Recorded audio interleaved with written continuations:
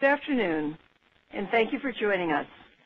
I'm Dr. Gail Bolan, Director of the STD Prevention Program at CDC.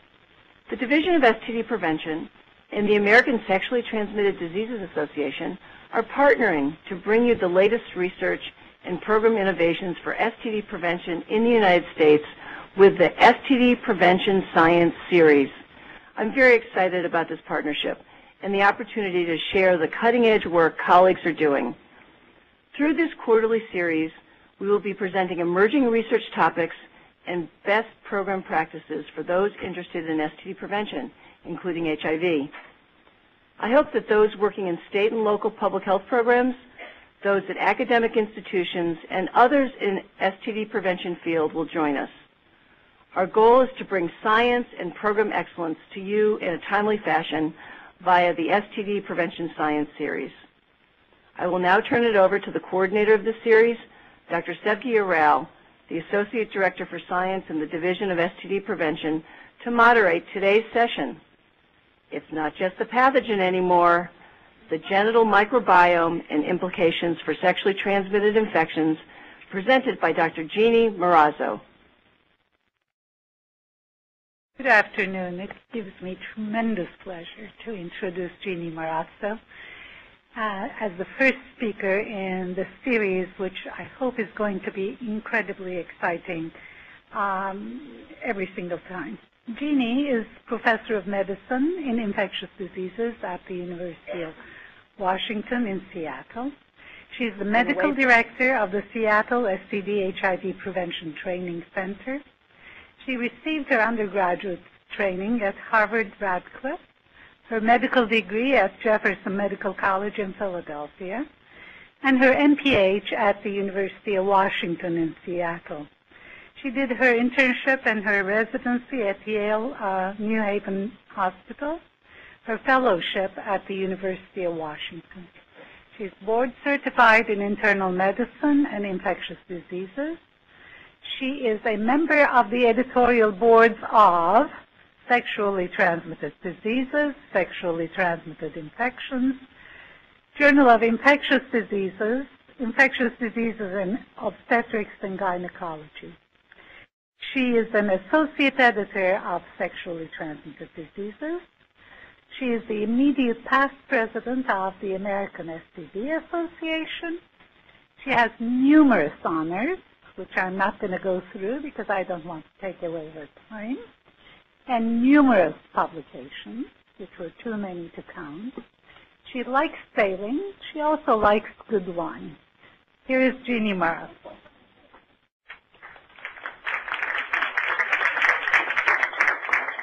Sevgi, thank you. I knew I could count on you to give a true insight into my character. So I want to thank you for that. And I want to thank Gail and Gail in absentia for that uh, lovely introduction. Um, it's really exciting to start off this series. I'm extremely excited to be here and very happy to have this turnout, both here and online. I don't know if it went away, but up there there were 126 people listening in online, which is pretty cool for our first um, effort. And I hope you've had a chance to take a look at my images uh, while Sevgi was talking. I love this uh, photo on the left, which a friend of mine who knows my obsession about all things vaginal uh, took for me not too long ago. She found these suppositories in a uh, some antique store and it was a product that was made in 1919, and they were called Madame Dean's Vaginal Suppositories contain ingredients of unquestionable merit. And in 1919, a box cost 50 cents. And I think, to me, that speaks to a measure of how desperate women probably were, even then, to get their vaginal complaints addressed. And I guess the question I would pose is, are we really in a different era today when you look at 2012? And I'll tell you what that picture is going to be in a little bit. And I would say we are better off in many ways. When it, will, when it really comes to the reality of women's vaginal health, I'm not quite sure that we have made immense strides. So let's go ahead and sort of talk about what that is. People usually save the acknowledgments for the end of these talks, but I really could not be doing this talk without the incredible laboratory collaborators who've done most of the work that I'm going to present. David Fredricks in particular has been the genius behind the molecular analyses that have informed our ability to do clinical and epidemiologic assessment of the vaginal microbiology. And his staff, as well as the incredible clinical staff who run my projects at the University of Washington, are shown there. So really have to acknowledge them right up. So Sevgi, I don't think you could have timed this lecture any better. If anybody who saw the paper last week, listened to NPR, saw the news, you would have heard that there were several publications that came out um, on the Human Microbiome Project. And one of the most striking, um, I think, reductive, simplified statistics that really grabs people's attention is exemplified in the diagram in that upper right-hand corner. And it really points out that when you look at the genetic material in the human body, the human genome proper represents about 23,000 genes. And when you look at the human microbiome, meaning the microbiome that is existence in bacteria in the human body, there are more than a million genes. So the vast majority of genetic material in your body and in my body really belongs to the commensals, the bacteria that live there. And I think for people who haven't been following this field, sort of your average newspaper reader, your average NPR listener, that was a pretty surprising uh, fact. So keep that in mind. So there's been quite an evolution in the whole field of the human vaginal microbiome. What I want to do in this talk is to look at BV as a framework for this discussion, bacterial vaginosis, and I'm going to define that for those of you who aren't familiar with it. I'll talk about what the consequences are of that condition. Why should we care? Does it really matter? And then I'll talk about the implications of the microbiome approach specifically for BV with relationships to the pathogenesis of the natural history, and the role of sexual behaviors. We are in the STD division, so I think it's important to think about how it relates to our work as we look at STD-related syndromes and pathogenesis of STD infections. And then, um, I'll again, talk a little bit more about the implications for diagnosis and, as I mentioned, some specific syndromes. So this is what people were talking about last week, and that image on the right side, tending the body's microbial garden, was in yesterday's Science Times uh, from the New York Times. And I love the quote by Carl Zimmer, as we learn more about the trillions of microbes we carry around, some scientists want to be like wildlife managers, nurturing the good and weeding out the bad. And this is really getting away from the idea of germ warfare that we have waged since the dawn of antibiotics, right? It's really been about controlling the bad things that invade our bodies. And I think shifting that paradigm is really what this is about. And when we think of pathogens and STD pathogens, I don't think we can separate them out anymore from what's going on in our bodies and what we're exposed to when we have sex with other people. And that's really where I'm going to go with that. Three of the most important papers are listed there. Those are the papers that were in Nature, although there were a number of papers in the PLOS journals as well. And I think if you are new to this field, taking a look at David Relman's editorial called Learning About Who We Are is probably a great introduction to what this really is about. The other two papers are fairly technical, but really for those of you who want to delve into the gory details, feel free to take a look. So what is an optimal vaginal new milieu, and what is bacterial vaginosis, which is what I think of as the opposite? Sorry that the, um, the spacing there of those boxes is a little bit weird, but what you're looking at um, on the left-hand side, and let's see, oh good, it actually works, is a gram stain of normal vaginal fluid. And what you can see here are all these lovely, long, lanky lactobacilli. Those are very, very uh, purple. They're gram-positive. And that's what a very healthy lactobacillus predominant vaginal environment looks like. It's associated very strongly with a low pH, quite low, less than 4.7. That's compared to your blood pH, which is about 7.3 to 7.5, so very, very buffered. And that happens because of the lactic acid produced by these lactobacilli. And this is sort of a prototypical Nugent score of zero. We use the Nugent scale to measure what the lactobacillus, i.e. healthy predominance is, relative to this situation, which is frank BV, in which you've really lost all those lactobacilli. As you can see, the morphotypes that represent them are now gone, and instead you've got a lot of pink and purple dots, some gram-negative positive rods, but nothing that looks like lactose. And that's really the anaerobic predominance that characterizes BV. We can also use the Amsel criteria, which are clinical criteria to define BV, and they're defined by abnormal pH, abnormal discharge, abnormal odor, and then clue cells, which I'll show you a second, on vaginal microscopy. So for a long time, we've known that BV represents a profound loss of hydrogen peroxide producing lactose, primarily L. crispus and L. jensenii, and an overgrowth of these commensal anaerobes, but really that's all we knew and that's all we thought about. But in the intervening, probably last 10 years, we started to define this as a very immune dysregulated state. There's a lot of uh, disruption of normal cytokines, which are listed there, which I won't go into, but you also lose some things that are very important for defenses against superinfection with STD-related pathogens. So, for example, SLPI, or secretory leukocyte protease inhibitor, very strongly protective against HIV, has a lot of virucidal activity, and really is a very important innate defensive, really almost disappears when you have BV. So the clinical and epidemiologic feature is probably familiar to many clinicians who are listening in. On the upper left is the classic discharge, and on the upper right is just a reminder that the amine odor is a byproduct of these amines being metabolized. And that fishy smell that people smell when they have BV uh, really represents just the metabolism of these anaerobes and the volatile amines that they, that they actually produce. It is the most common cause of vulvovaginal complaints in the world. It's very prevalent in, particularly in areas of the world with very high HIV incidence. In some of the areas where the HIV prevention studies are being done, prevalence of BV approaches 75 to 80 percent. And in many of those places, the incidence of HIV, as we'll talk about in a moment, is really quite staggering. Epidemiologically, very consistent and strong associations with race, very, very high in African American women, Unprotected sex with male partner consistently depicts BV, as does sex with a female partner. And we'll come back to some of those as we talk about the microbiome. Abnormal discharge and odor, often present, but sometimes not. And interestingly, when you treat these anaerobes with an antibiotic, they generally respond, they usually go away, but a fairly substantial minority of women will fail early treatment, 15 to 20%, and even if they respond initially, almost everybody recurs in the year following diagnosis. So very, very difficult to recolonize with a healthy lactobacillus predominant flora, and very big issue with the microbiome. Well, BV is not nice to have. It doesn't smell good. It doesn't feel good. But it really got a lot of attention because it became increasingly and consistently linked to adverse outcomes related to reproductive health in the 80s, early 90s. And this slide just points out that there are a number of pregnancy-related outcomes as shown there that have been pretty consistently linked with BV. In fact, some estimates early in the 90s thought that about 11% of preterm deliveries may be attributable to BV. I don't think that estimate has been updated, so I'm not quite sure if it's still accurate. But I think people believe that it still is substantial. Um, infection with other STDs, some very nice prospective work, particularly by the Baltimore group, has shown that having abnormal vaginal flora is an independent predictor of subsequent likelihood of establishment of gonorrhea, chlamydia, tricks, HSV, and HPV. And then I want to talk a little bit about HIV transmission because I want to engage those of you who are skeptical about BV and its importance and who really maybe only care or preferentially care more about HIV early on. So let's talk about that. What happened?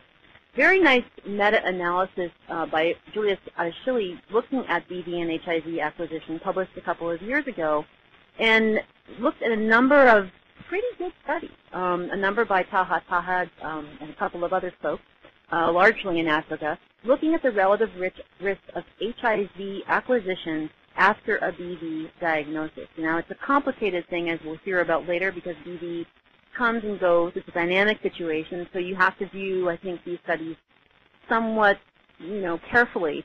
Nonetheless, the weight of the evidence suggests that there is a consistent increase in risk um, in these uh, analyses with an overall estimate of 1.61 for the relative risk. It may not sound like much, but when you look at the prevalence of BV, as I mentioned, being about 70%, and the incidence of HIV being very high, the population attributable risk for BV has been estimated around 20 or 25% when you're looking at HIV acquisition in some of these countries. Some of the thoughts about why that might be are shown there. It could be that you don't have hydrogen peroxide because those lactobacilli aren't there to, prevent, to produce it, and that that's one of the things that's going on. It could be that the alkaline pH activates local CD4 cells to be more receptive to getting infected with HIV, cytokine upregulation, or the anaerobes that predominate in BV may actually stimulate T cells and monocytes, um, encouraging them to express HIV or be, again, more receptive to HIV. However, even if you're skeptical about this data, I think you will find the next set of data, which have not been published yet, but were presented by Craig Cohen in Rome last summer, really very interesting and intriguing. BV has also been independently associated with an increased risk of HIV transmission to uninfected male partners. It's not published yet, but I think it's very interesting. Where is this data from? Many of you probably have heard about Connie Celum and Jared, Jared Baeten's Partners in Prevention trial. It was the trial framework that looked at suppressive herpes therapy to prevent both HIV acquisition and transmission, and more recently looked at the delivery of oral pre-exposure prophylaxis in discordant couples and successfully showed that, or showed that that was very successful in reducing transmission in those couples. They had the opportunity to look at um, HIV acquisition in male partners who were the seronegative partner of seropositive couples by the woman's BV status over the course of the trial. They could actually look longitudinally um, at sort of how often she had BV, how often she had normal flora, and then look at that, controlling for a number of other factors to see if it contributed to the male partner's HIV acquisition. You can imagine this is a very complicated analysis. There's a time-dependent variable. There are some fixed covariates that they used there. Uh, but I would say that this is fairly rigorously done. And what they showed is shown here, that if a woman had BV at the pre-visit where the man was ultimately tested for HIV, the hazard ratio for HIV incidence or detection was 3.6. Um, that was even higher if the woman had BV at the current visit, and it was very high if she had a very high Nugent score. In fact, the hazard ratio there was 7.19. Uh, so there seems to be some gradient with abnormal flora. In other words, the risk went up for HIV transmission as the woman's time in a very disrupted vaginal environment defined by the bacteria was sustained. It's fascinating. How could that be? What is that about? How could this possibly be affected? Some interesting hypotheses that this group has raised, well, maybe BV actually increases the female genital tract concentration of HIV, making the women more directly infectious. They measured that. They, they showed that the women who had BV had a modest increase in genital HIV. Probably not enough to really explain the marked increase in some of those hazard ratios that I showed you. Could be the increase of proportion of infectious HIV. We know the lactobacilli and their products directly kill HIV. Maybe, we don't know. Or could be the indirectly increased HIV susceptibility in the male partner. And because uh, this is a microbiome-focused talk, I want to just point out that people have shown, using some of these cultivation-independent methods I'm going to talk about, that female and male genital microbiota are shared. So could the BV bug actually be stimulating Langerhans cells and CD4 cells in the male, whether they're a circumcised male or an uncircumcised male? Could that be partly making the environment more receptive? Could the BV bug be establishing colonization slash infection? I don't know that that's what we're talking about in these men. These are all areas that are under investigation, but very robust um, biologically plausible findings with a gradient by abnormality of vaginal flora.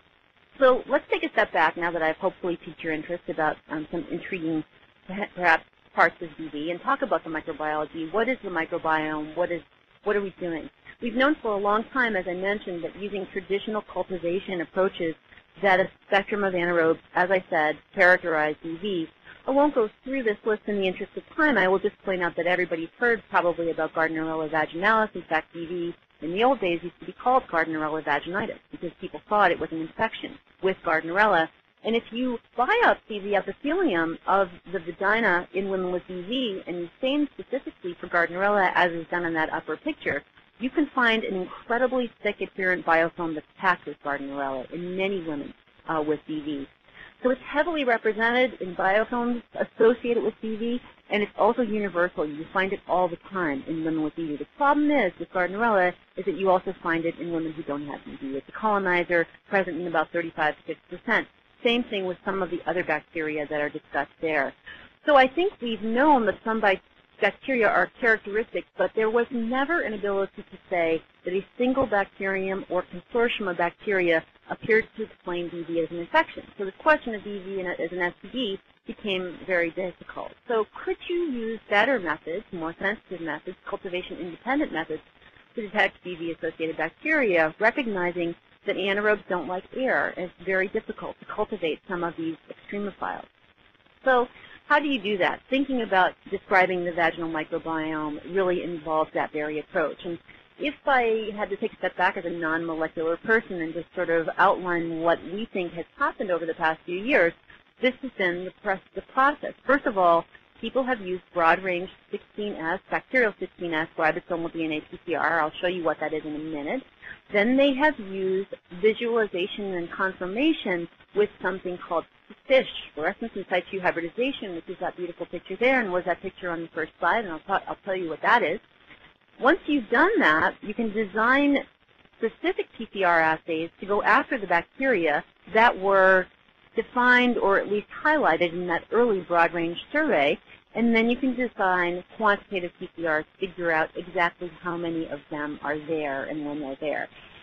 That's very exciting and it got us very far, but we're now going even further with more intensive abilities to more quickly characterize the diversity. And pyrosequencing is sort of the next step, which I will mention very briefly. So don't freak out if you're not a molecular person. I'm not either. This is sort of my very uh, basic um, description of 16S ribosomal RNA, but people should at least know what it is. It's basically a gene that's present in all bacteria. It codes for the small a small subunit of ribosomal RNA that you have to have for protein synthesis. You can't be a bacteria and not have this gene. The gene is very useful, though, because it has conserved regions, shown here in black, that are the same across all bacteria. So you can basically use those regions as little magnets to fish out bacteria. You won't know who they are specifically, but you'll get a bunch of them. You can then go in and use these variable sequences, which are shown in white there, to specifically figure out who is there individually. So what individual bacteria species are there. And that was really the first attempt to clarify what was going on in the vagina. And these next two slides are about the results of about four years of work on uh, my colleague David's part. These were women that we enrolled in studies um, back in the late 90s and early 2000s, and this was our New England Journal paper that described the first attempt to really define, using the broad range approach, who was present in women with and without BV. We hypothesized that using these approaches that we would find a lot of these BV bugs in women who didn't have BV. That didn't turn out to be the case. These are um, a number of women, 13 women who did not have BV, and these are the results basically of the analysis looking at that broad range. And what you can see, and I won't go into what the number of phones means, you can just sort of take it as a representation of the community members in these women. But you can see on the left-hand side that the vast majority of bacteria were represented by two lactobacillus species, Lactobacillus crispatus, we weren't surprised about that, and Lactobacillus iners, which we were somewhat surprised about. We knew that iners was around. We didn't know what it does. We still don't know what it does, but it's around a lot. Nonetheless, we found only 16 species, which was a little bit paltry, we thought, and there were only three species per subject. So a remarkably homogeneous, kind of uninteresting, um, I would say, environment in women who did not have BV.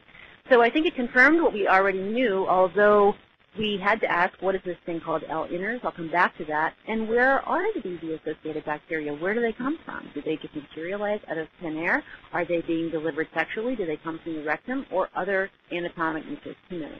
What about when we looked at women with BV? This is what we found, a very different picture. Hard to fit all the bacteria on the slide here.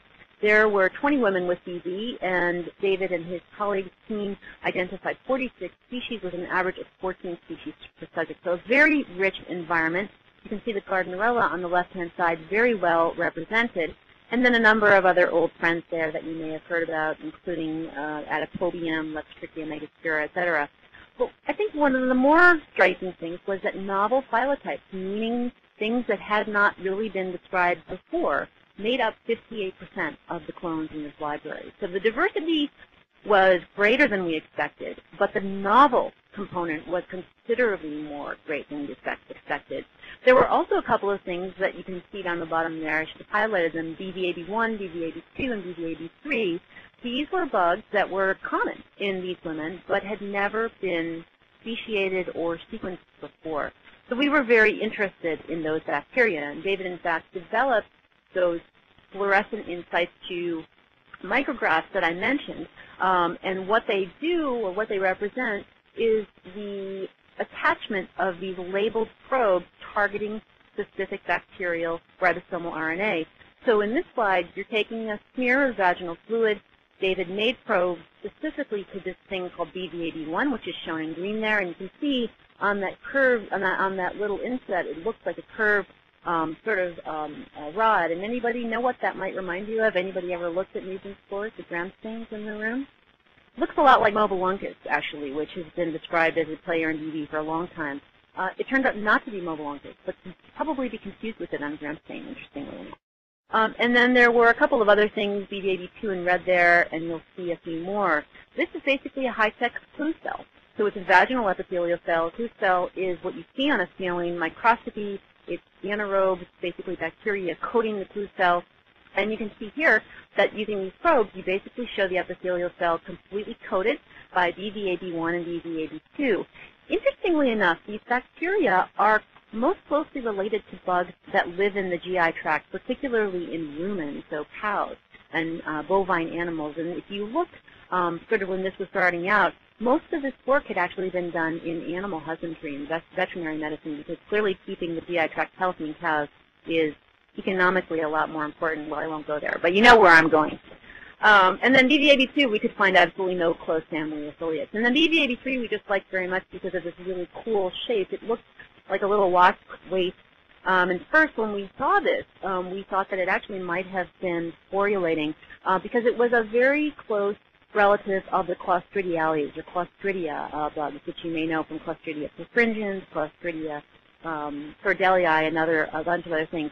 And I'm going to show you some really interesting data to say that this bacteria, when present in the BV, is strongly associated with cervicitis and cervical inflammation. So we're getting into this thing where does a dysbiosis that is represented by something like BV, could that actually represent something that's abnormal enough, disruptive enough, to start looking like some of the syndromes that overlap with our traditional STD pathways? And that's really, I think, a fascinating area for further discussion. Now, I'm not going to take you through this, the pyrosequencing approach, but trust me, what happens in this very exciting and interesting area is that you start out with that broad range approach that I mentioned. You use the 16S ribosomal RNA gene to, again, suck out those bacteria like a little magnet. You then put fusion primers on there, and you end up doing this specific um, PCR on this bead that allows for individual deposition of the beads in this plate. And then they are synthesized. It's really quite an amazing I'm sure David would be mortified at my reductive description of that, but it's an amazing, uh, an amazing tool that allows you to get incredible amplification at incredibly specific levels, and it gives you just an, an, unbelievable array of data. In fact, it gives you so much data that the major challenge is the informatics component of it. You really, the reason that this particular paper, which should be coming out very soon, took so long, is that we had to work, David's team had to work very closely with the bioinformatics and molecular bacteria people at the University of Washington and the Hutch try to figure out what the heck to do with all this data and how to classify it. So they basically had to develop a classification pipeline that would take advantage of all this molecular sequencing data. What do you find when you, um, you know, apply this even more sensitive and crazy descriptive method to these um, to these samples, you find even more. Um, you find even more bacteria. You find even more unusual bacteria. And again, it's sort of just another example of the more you look, the more you find, and it's not really clear where it's going to end. The other thing that it allows you to do is some very, very novel um, assessments of the communities by various parameters. So this is just one example of what you can do. In this slide, each of the horizontal lines here, so everybody, each of this, for example, is an individual subject. And when you look over here in this vertical column, you're looking at the Amsel criteria score. In red, it means that this woman had BV by Amsel criteria. N means BV was present by Nugent criteria if it's red, and green is neither or neither was present depending on the column there. And what you can see here is that these women really have, as we would expect with BV, tons of diversity. And these are all the bacteria that are included here. Quite a bit of them are other.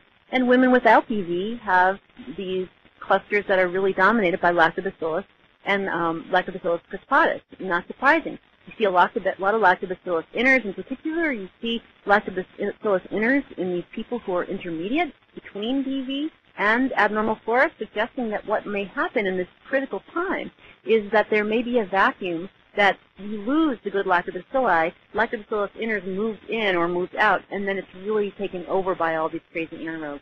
The other thing I would say that is that even within BV, though, you start to see specific little clusters. So these women clearly are different than this woman, these women down here. There this one is dominated by Sneathia leptotrichia species. These are dominated by Gardnerella.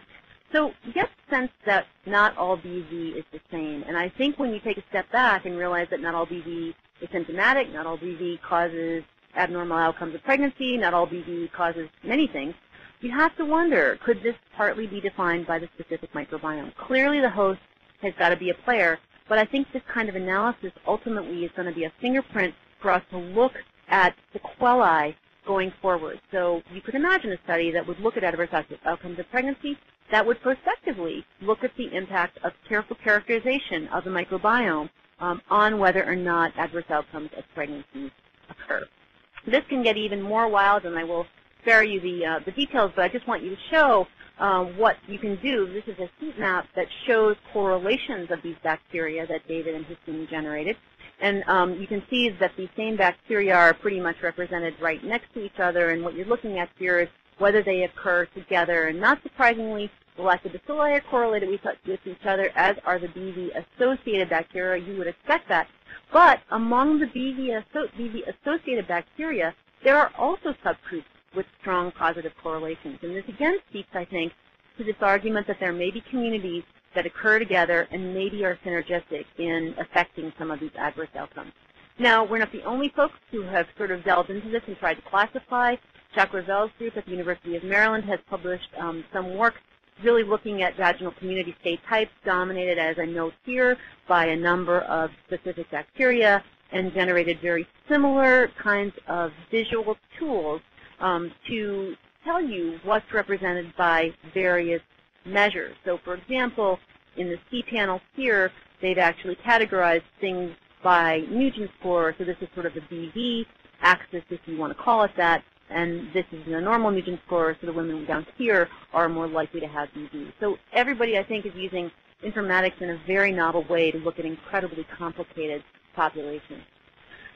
Do these results have anything meaningful for us right now as diagnosticians and clinicians? Well, certainly many companies think they do. They're very excited about results like this. Remember, I told you that Gardnerella vaginalis, very nonspecific for BV, present in almost all women with BV, but also present in about 35% of women without. In contrast, if you look at bacteria like BVAB1, 2, or 3, as I mentioned, um, or Megasphaera or BVAB2, you can use those assays to get incredibly specific, predictors of BV. So take a look at the Megasphaera or BVAB2. You can see that if those were assessed in BV negative women, they were present only about 8% of the time, but they were present in 99% of women with BV. So very, very interesting. You can do the same thing with some of these others. So I can tell you that people are very interested in trying to move into molecular diagnostics for BV. The question is, what is this going to tell you in terms of treatment? Is it, is should we go there? Does this really mean that you're targeting the bacteria that are important for the adverse outcomes, whether it's symptoms or sequelae? And I think we just really don't know. Now, what about the natural history and pathogenesis? The next three slides, I don't want you to freak out. They're very busy. I will walk you through them. But this is a complicated topic, and there's no way to sugarcoat it. You just sort of have to look at this over time. Because one thing I haven't introduced in the discussion yet is the temporal axis, and that's where it really gets crazy. Um, and I also want to remind you of this plastic triangle, which those of you who are infectious disease oriented, oriented will remember. When I teach medical students and residents often we're trying to figure out what's going on with the patient, I often put this up. And I say, well, let's talk about the host. Where did they come from, and what pathogens can cause a compatible clinical syndrome? Can we use this framework for BV? Hmm, I don't know, not so much. Again, this is a traditional pathogen-focused model for disease, and if we're really thinking about shifting our mindset to more of a dysbiosis and a kind of community situation, we may need to rethink this. Okay, so this is a scary slide. So let me just tell you what you're looking at here. These are data that um, Sujatha Srinivasan in David's lab published um, last year, I think, or maybe the year before, and what, um, what David and Sujatha and our group did was to follow women. We asked them to self-collect daily vaginal swabs for a period in the first case of two weeks, um, and then weekly thereafter. And that's, the axis is actually pretty similar for both of these women. And uh, we validated this as a very good measure for performance of the quantitative PCR assays. And now I'm moving you into that third step, beyond FISH, beyond broad range, to quantitative PCR assessments. And now you're getting a sense of how many people, or how many, sorry, I split into anthropomorphization because I like the bacteria so much, um, how many bacteria were actually present in the vagina at a given time. So these women, very importantly, never had BV during the entire time. And we know that because we had gram stains on them uh, for every day. And you can see their, their Nugent score was zero throughout. So here's participant A. In um, the purple here are her levels of Lactobacillus crispatus, good bacteria. And you can see she had over 10 million um, bacteria throughout the course of her uh, month, or is actually a month. What is this? Um, this is basically just a measure of 18S um, uh, um, RNA, so it just makes you uh, confident that you actually got um, cellular material. What I want you to know, she, she looks quite perfect actually throughout this, very consistent, exactly the kind of participant you would like to have in your study because you don't want anything messy when you're trying to figure this stuff out. But here I just want to show you that she has her menses in the last week. She never developed BV, but she has this spike. And what is that spike? That's Gardnerella vaginalis. Her lactobacilli actually come down. They never come down below a million copies this never gets up to something that we think is probably significant, and she recovers very nicely. So this gives you a sense that something could be going on here. Now this woman, on the other hand, is completely chaotic, despite the fact that she never developed BV during this whole time. So you can see she's got Lactobacillus crispatus again in purple, but her Gardnerella vaginalis concentrations, again, in red here is menses, and we had daily swabs during her menses here. You can see as soon as she starts to menstruate, Gardnerella plumps up here, and then when she stops, comes back down, and the lactobacilli attains predominance. Again, she really has a very significant reversal of these two bugs, but she never develops BV. Strong association with menses in both cases, which I think is quite interesting. And then another a number of other bugs that are shown here too. Um, again, you can really look at the menses effect using these studies quite nicely. And we've known there's an association with menses as well and STDs for a long time. Gonorrhea is a classic pathogen that is thought to be, you know, again, the thinking is always been that if you look at it in the lab, there's an iron affiliation. And so blood is iron, you know, blood agar, et cetera, et cetera. But is that really all that's going on here? Could there be some other factors that relate to fluctuation of the vaginal bacteria around menses? Again, I won't take you through these slides because it's really the same thing, but it's discussing that menstrual relationship a little bit more closely. We've also looked, of course, at reported unprotected sex um, during these um, daily diary sort of things, and we actually do see some interesting associations, but they're not quite ready for prime time. Now, what about women with BV? This is what happens, and I want to point out that this is also not predictable, and it speaks to our, I think, haphazard attempts to treat these dysbioses. We use anaerobic therapy. But, you know, we're sort of just throwing something very nonspecific at these women. This is a woman who came in with a Nugent score of 8. Actually, they both had Nugent scores of 8. This woman was cured. This woman was not. So she gets her metronidazole here, shown in green. Again, she is having her menses here, not surprisingly. She gets her um, her antibiotic here. Her Lactobacillus jensenii actually comes up very nicely, and she reestablishes Lactobacillus predominance very well, although she's still got a lot of Gardnerella even when things are finishing up here. This woman, on the other hand, got her antibiotic. She had attempts to sort of reestablish normal flora, but never managed to do it. So what these kinds of observations can really help you do is to dissect out what is accounting for failure to reestablish a healthy vaginal environment, at least from the microbiologic perspective. So can it help us figure out how women get or maintain BV? Because, I mean, ultimately our ultimate goal is to really create an environment that is protective against getting super infected with really bad things like HIV, gonorrhea, chlamydia, trick as well, um, and to have healthy babies um, as an opportunity, and to have healthy sex and not transmit things. So why do women get or maintain BV, and can this help us a little bit?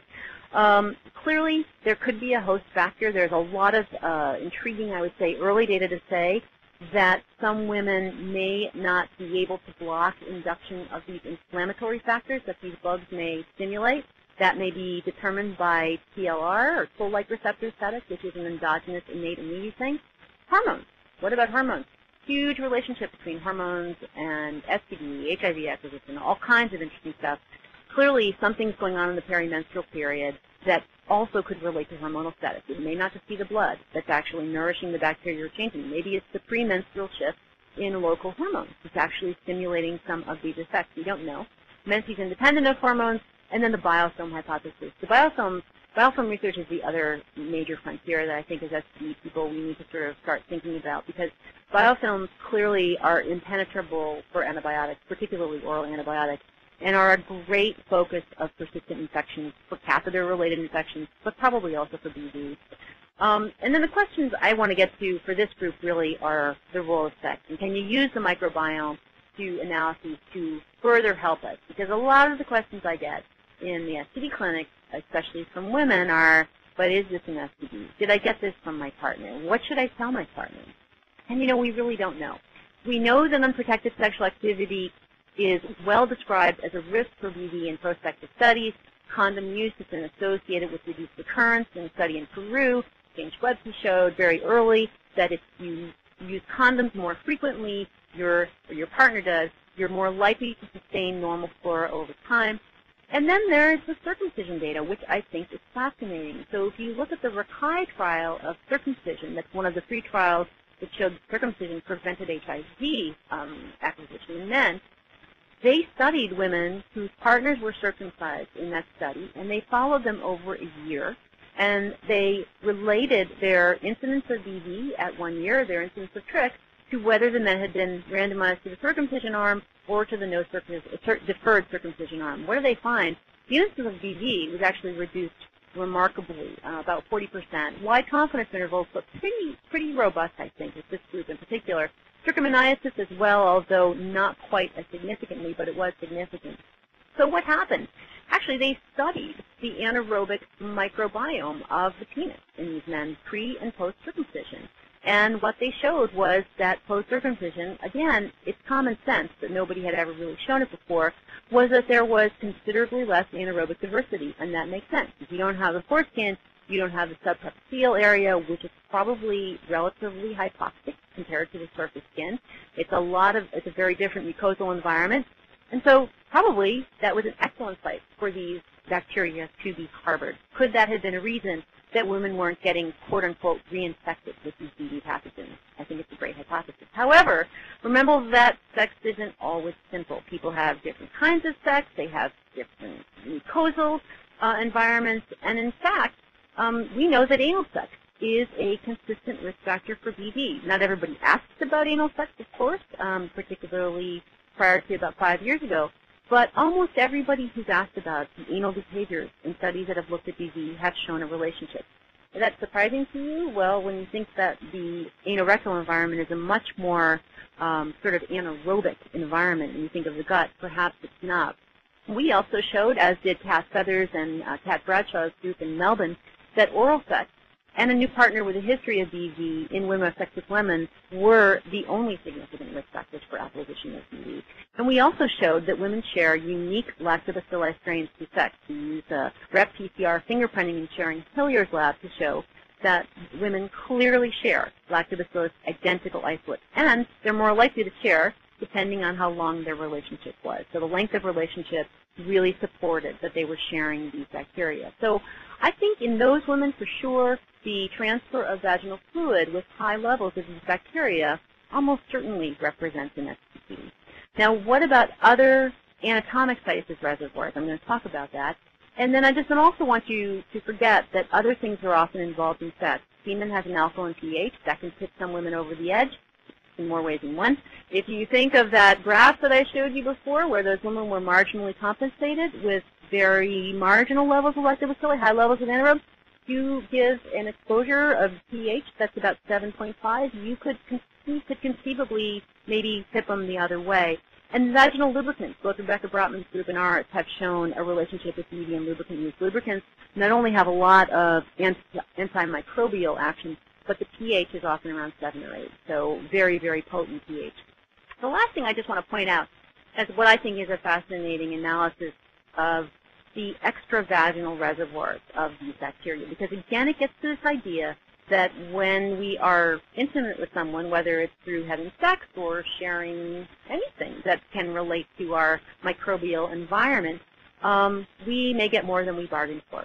So what we looked at was colonization of extravaginal sites, namely the oral cavity and the rectum, as a predictor of subsequent BV in women who didn't have BV. So in other words, if you were colonized with these bacteria at these sites, did that mean anything? Was it a marker of recent sexual acquisition, or was it something else? So we did a case control study, um, as shown here, just published in JID. There aren't a lot of women, because you could imagine um, how hard it is to identify women who are BV negative um, who you can follow over the course of a year, which we did, for incident BV, in whom you can do very complicated intensive taxon-directed PCR applied to oral, vaginal, and rectal swabs. We had already developed, or David had developed, the vaginal swabs, but the oral cavity is a completely different animal entirely, huge numbers of bacteria in the mouth. So it was a little bit very, very, very challenging for his lab. What did we find? Sorry that these tables are a little bit small, but I'll show you um, basically what what this means. Um, this, these are data for what we found in the mouth. When you apply Gardnerella vaginalis in PCR form to the mouth of women who subsequently developed BV, at their baseline visit when they were BV negative, they all had Gardnerella in the mouth, which we thought was quite interesting, 15 of the 15. Only 45% of them had Gardnerella in the mouth if they did not develop BV. Still, it's a lot of Gardnerella in the oral cavity. So it is there, it's hanging out, but it seems to predict BV in this subset of women. I think also fascinating, although not quite as significant, is that we found Lactobacillus crispatus in the mouth, and it was more um, uh, present, more likely to be present in the women who did not develop BV. So kind of interesting. Um, there was a direct association with BV development, not only when you look at it qualitatively, but also when you look at it quantitatively. So when you look at the qPCR over here, these are the levels of Gardnerella in the mouth of the cases, and these are the levels in the controls. And you can see them, some of the controls had a good number, but a majority of the controls had absolutely no Gardnerella vaginalis detected. So I think that's really interesting. When you look at the anus, essentially you see a very similar pattern, although you find more bugs.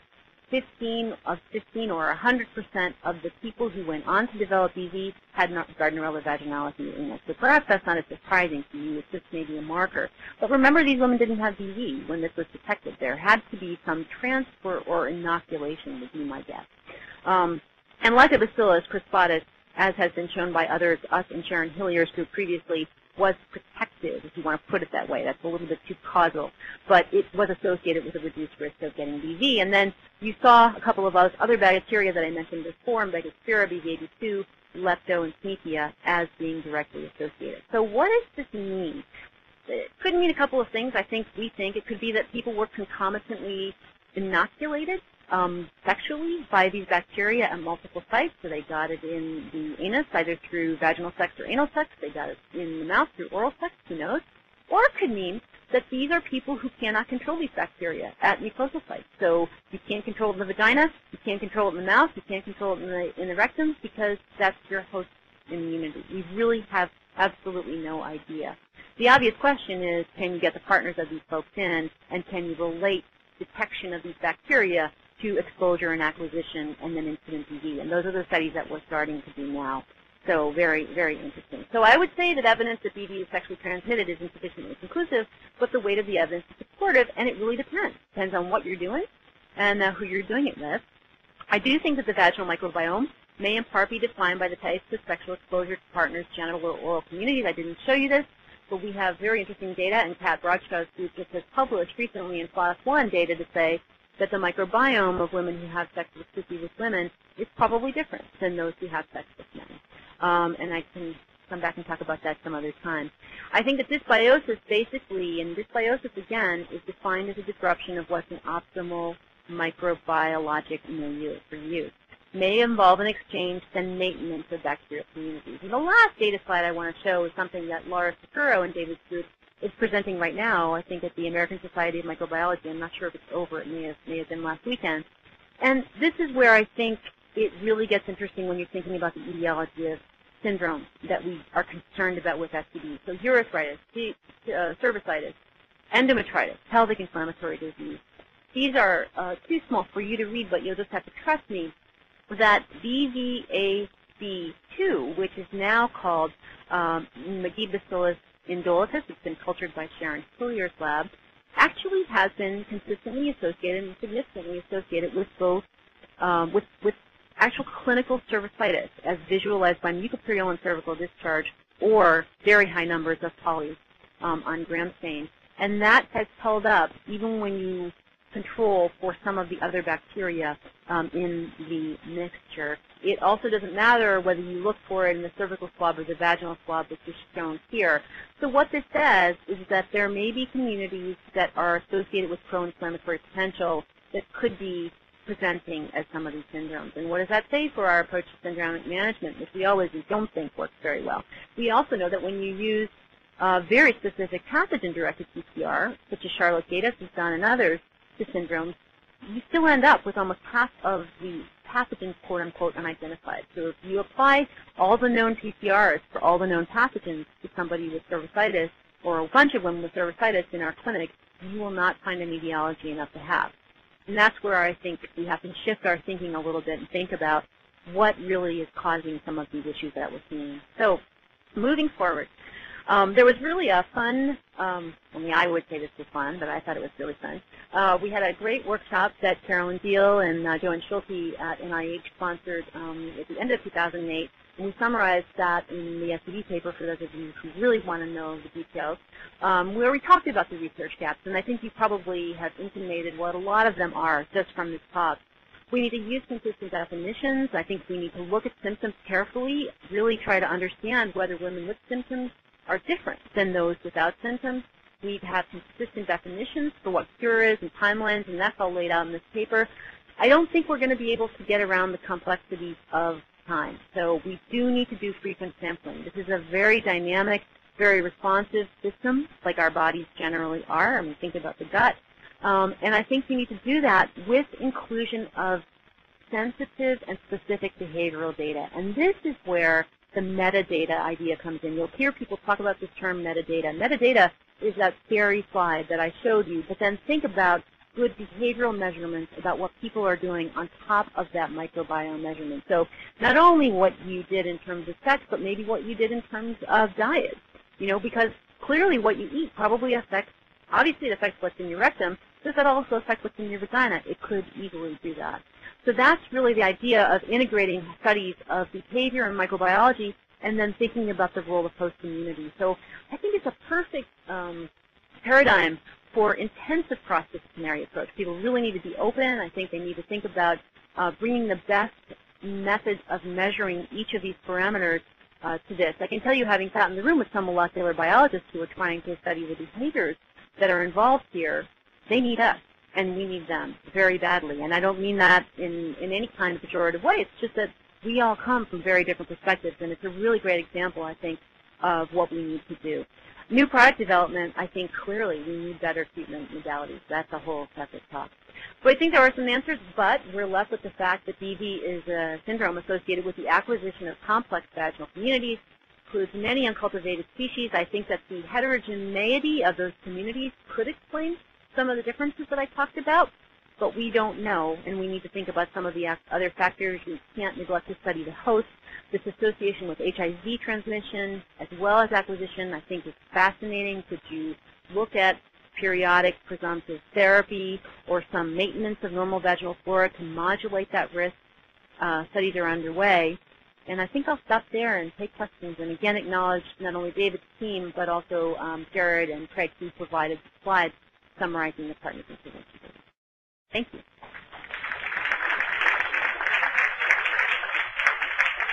minutes for questions, I think. Dusty, would you let me just take questions? Okay. Um, does anybody on the phone have questions?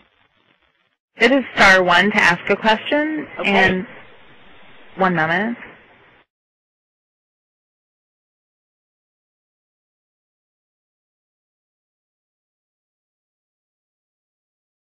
Oh, we're waiting. Um, is anybody in the room? I'll, I'll interrupt the person in the room when you come on. But anybody in the room have a question? Comment? Stunned you all with those scary slides. Trust me, they are scary.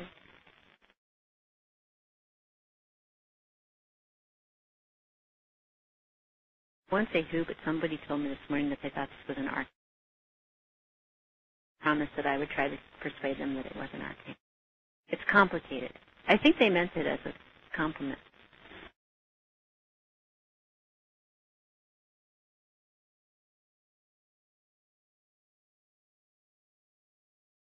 Any luck getting somebody on the phone? At this time, there are no questions. Oh, sad. Very sad. Anybody else in the audience? Anybody think it's interesting and crazy?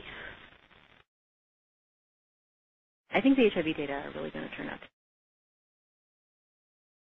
Well, I can be here for another minute or so, and then I must run to the airport. But other than that, thank you very much for your attention.